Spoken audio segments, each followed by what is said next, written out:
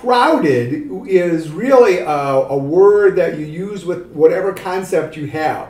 So, like you have one, you could say they crowded around him, or they crowded around him, or you could do they crowded. And so you have to see what does your story say. So in this, it talks about that the people, Jesus is right here, and the people crowded around him. So they crowded.